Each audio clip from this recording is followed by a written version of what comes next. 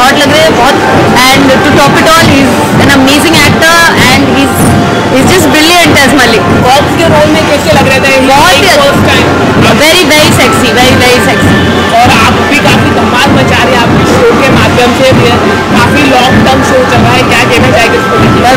grateful कि लोग पसंद करते हैं इतना शो